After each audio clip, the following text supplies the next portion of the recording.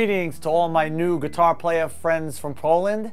I am Steve Pisani, one of the owners of D'Angelico Guitars, and it's my pleasure to show you some of our EX series D'Angelico guitars. The first one is probably our most popular guitar. It's an EXL1. It's an archtop guitar and uh, features our beautiful iconic headstock, Grover Imperial tuning machines in gold, a Kent Armstrong floating pickup. Because the pickup is floating, the top can vibrate and you have a full, full, nice tone. We also have iconic D'Angelico stair step tailpiece and a nice uh, bridge which is made out of ebony. This guitar is carved top and back and like I said, it's our most popular guitar. So people who like to play jazz and uh, bebop, they use a guitar like this. Next up is uh, one of my personal favorites. It's the EXSS. This guitar is uh, arch top as well. Features a post like a violin, so the top can really vibrate. We have the beautiful D'Angelico headstock. This particular guitar has black hardware, Grover Imperial tuning machines, Kent Armstrong pickups, but coming for 2016 is an option for Seymour Duncan pickups as well for our guitars. Also, we have the stair step tailpiece. This body's only 15 inches across, so it's very comfortable for players to use. Besides jazz, we have a lot of blues players who tend to buy this guitar now too. It's lightweight because like I said, it's hollow and it's a wonderful addition to your guitar collection, especially for people who also want to play jazz and blues, but maybe jazz isn't their first calling, but this guitar can handle it for sure.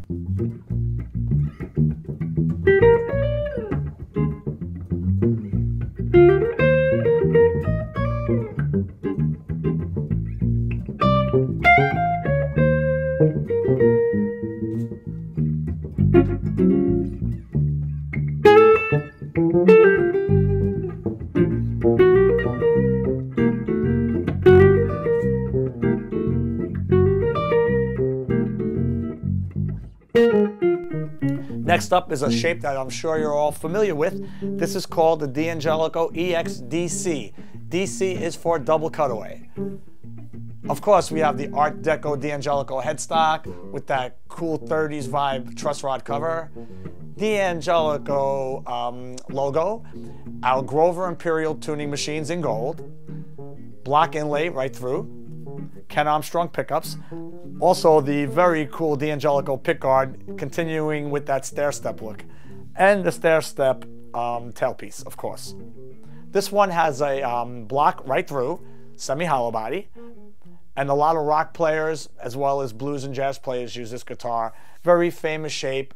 It's been used for many years, and the thing about this that's wonderful compared to others is for the quality, the price is fantastic. Next up is a new model that we just did for 2015, the EX175. This baby's the hot rod. You have your Bigsby uh, tailpiece on it. Of course, we have our D'Angelico headstock, which is known worldwide. The Grover Imperial machines. This one we do in chrome, has that cool chrome vibe. This is an arch top with the Kent Armstrong pickups. Another cool feature of all the guitars is the ebony knobs. They're actually ebony and uh, people really love them. This next one is very cool. A D'Angelico with P90 pickups. We actually found this guitar in an ad from 1959 from D'Angelico. So the name is EX59. Cool things about this guitar is, of course, our headstock and the Grover Imperial machines. They all feature these beautiful Grover Imperials. And we have the P90 pickups, cool retro vibe pickup selector, that 1959 looking uh, tone and volume controls. Also the stair step pickup. This one's a 17 inch body. So many arch top players either have a floating pickup or some of them have one humbucker. Now you have the option of getting a guitar with the P90 so you get that P90s vibe. When you dig in, the guitar pops out a little bit. This one is, uh, like I said, it's about two years old, and uh, it's a retro EX59 uh, from a D'Angelico 1959 that we found. That's a beautiful guitar. We did not forget the bass players out there. This one is EXSS bass. This is a hollow body, has a post like a violin. We have the two dual coil pickups, and we spent a long time, a lot, we did a lot of prototypes to find the exact right placement for the pickup. When you use that first um, pickup, the neck, you get a deep, very uh, round sound. And when you use the lead pickup, it growls and it really has great attack. Of course, we stand with the D'Angelico uh, headstock, the iconic headstock. Something else that's cool too, for guitar players who play guitar and play bass, this has a 3 quarter inch scale, so it's very comfortable for guitar players to switch back and forth to the bass.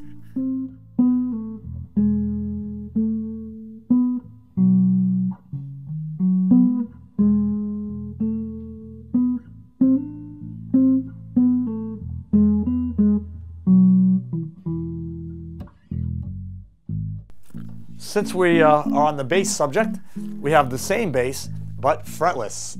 And of course we have the dots there for those of us who cheat a little bit. There you go. And uh, remember we talked about the pickups before. Using that uh, rhythm pickup, the fretless gives you that wonderful, uh, authentic uh, fretless sound. Last but not least, I'd like to talk about is we do all of the models left-handed version. So any style that you might play of the instruments that we spoke about, we uh, have them lefty. It's not the pale moon that excites me, that thrills or delights me.